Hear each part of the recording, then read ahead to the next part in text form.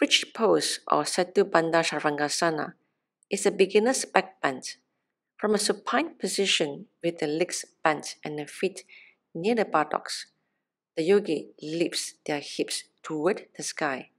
The pose opens the chest and improves digestion. Begin by lying on the back with the knees bent, feet under the knees and hip distance wide. Keep the arms by the body. This is the starting position.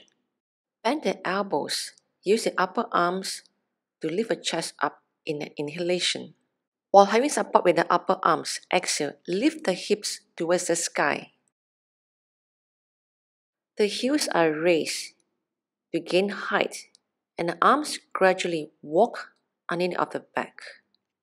In the final position, the back of the head, the shoulders, the upper arms, the feet are in contact with the floor.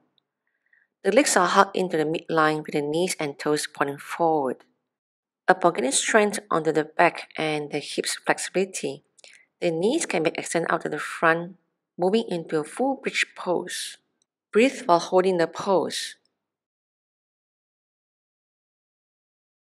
To release, walk the feet back, exhale.